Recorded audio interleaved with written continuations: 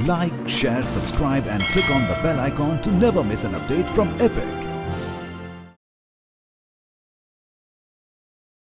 British Medical Journal ने doctor BC Roy के बारे में ये कहा था कि अपने चरम पर उनकी मेडिकल प्रैक्टिस पूरे विश्व में सबसे ज़्यादा फैली हुई थी और उनकी किसी शहर या रेलवे स्टेशन पर पहुँचने की खबर मिलते ही वहाँ पर मरीजों की भीड़ उमड़ पड़ती थी ऐसा क्या जादू था उनमें?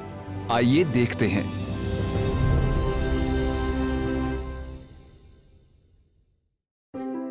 फ़र्स्ट जुलाई को हमारे देश में डॉक्टर्स डे मनाया जाता है। मगर बहुत कम लोग जानते हैं कि ये दिन हम डॉक्टर विधान चंद्र रॉय के सम्मान में मनाते हैं। बीसी रॉय जी एक मल्टी पर्सनैलिटी थे। वो डॉक्टर होने के साथ साथ एजुकेशनिस्ट समाज सेवी और फ्रीडम फाइटर भी थे। और 14 साल के लिए वो बंगाल के चीफ मिनिस्टर भी रहे। जीवन में उन्होंने बहुत जल्द एक मोटो अपना लिया था। जब वो 19 साल की उम्र में मेडिकल की पढ़ाई के लिए कैलकाटा मेडिकल कॉलेज आए तो उन्होंने वहाँ एक इंस्क्रिप्शन पढ़ा, जिसका मतलब था, जो भी काम आपके हाथ लगे, उसे पूरी ताकत के साथ करो।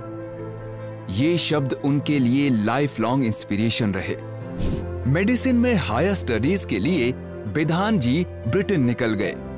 मगर वहाँ के कॉलेज डीन ने उनकी एप्लीकेशन रिजेक्ट कर दी, क्योंकि उनमें एशियन स्टूडेंट्स को एडमिट करने को लेकर एक हिचकिचाहट थी।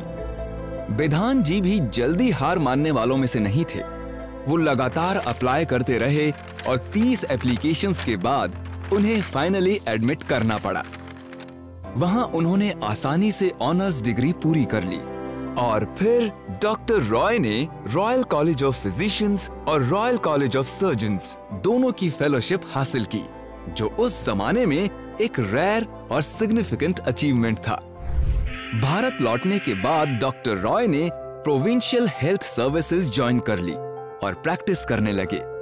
उनका डायग्नोसिस बहुत सटीक था। कहते हैं कि जैसे ही कोई पेशेंट उनके चेंबर में आता था, वो उसका सिर्फ़ चेहरा देखकर सूंघ कर इलाज बता देते थे। मेडिकल प्रैक्टिस के साथ साथ वो कैलकाटा मेडिकल कॉलेज में पढ़ाने भी लगे। इसके बाद, उन्हें कैलकाटा यूनिवर्सिटी का वाइस चांसलर अपॉइंट कर दिया गया। इस दौरान उनका कई कॉलेजेस और संस्थाएँ शुरू करने में अहम योगदान रहा। जैसे pharmacy college Jadavpur TB hospital Kamala Nehru memorial hospital, Victoria institution और Chittaranjan cancer hospital. Doctor Roy का मानना था कि जब तक लोग शरीर और मन से स्वस्थ और सशक्त नहीं होंगे, तब तक स्वराज्य एक सपना ही है। ये तब तक नहीं होगा जब तक माताओं के पास बच्चों की देखभाल करने के लिए अच्छा स्वास्थ्य और बुद्धिमत्ता नहीं होगी। और इसीलिए डॉक्टर रॉय ने खास महिलाओं और बच्चों के लिए चितरंजन सेवा सदन खोला।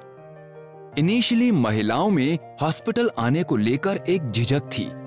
इसके सोल्यूशन के लिए डॉक्टर रॉय ने फीमेल नर्सेज की ट्रेनिंग के लिए स्कूल इस्टेब्लिश किया, ताकि अकेली महिलाएँ अस्पताल में कंफर्टेबल महसूस करें।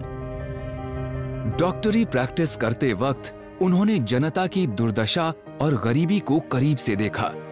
उन्हें लगा कि देशवासियों के कल्याण के लिए उन्हें डॉक्टरी के अलावा और भी कुछ करना पड़ेगा। और वो पॉलिटिक्स से जुड़ गए। क्योंकि उनकी सोच लोगों की समस्याओं का समाधान करना था, पॉलिटिक्स में भी वो लोकप्रिय हो गए और सुभाष चंद्र बोस के बाद वो कैलकाटा के मेयर भी रहे। इसी बीच डॉक्टर रॉय की गांधी जी से दार्जिलिंग में मुलाकात हुई और दोनों की अच्छी दोस्ती हो गई। और वो जल्द ही उनके पर्सनल फिजिशियन भी बन गए। सिविल डिसओबीडियंस मूवमेंट में भी उन्होंने हिस्सा लिया और 1933 में जब गांधी जी पुणे में 21 दिन फास्ट कर रहे थे तो भी डॉक्टर रॉय उनकी देखभाल के लिए साथ थे। आज़ादी के बाद डॉक्टर रॉय को एक बड़ी ज़िम्मेदारी सौंप दी गई, पश्चिम बंगाल। नेहरू जी और वल्लभ भाई पटेल को डॉक्टर रॉय पर बहुत भरोसा था और इसीलिए उन्हें बंगाल का चीफ मिनिस्टर बनने का ऑफ़र दिया गया। बंगाल उस वक्त पार्टीशन के बाद हुई communal violence, food shortage, unemployment और रेफ्यूजीज की रिहेबिलिटेशन जैसी समस्याओं से जूझ रहा था। स्थिति बहुत खराब थी। डॉक्टर रॉय ने इसको एक चैलेंज समझा और धीरे धीरे बंगाल को एक प्रॉब्लमैटिक स्टेट से एक प्रॉस्पेरस स्टेट में बदल दिया। इसीलिए डॉक्टर बीसी रॉय को आर्किटेक्ट ऑफ़ मॉडर्न बंगाल भी कहा जाता है। अपने पॉलिटिकल करियर के हेक्टिक शेड्यूल में भी, भले ही वो एमएलए रहे मेयर रहे चीफ मिनिस्टर रहे, फिर भी वो किसी तरह एक घंटा निकालकर गरीब और जरूरतमंद पेशेंट्स को ज़रूर देखते थे। 1961 में सरकार ने उन्हें भारत रत्न से सम्मानित किया। विधान चंद्र रॉय जी के लिए सेवा ही जीवन था। पूरा जीवन उन्होंने देश और देशवासियों की सेवा में समर्पित कर दिया।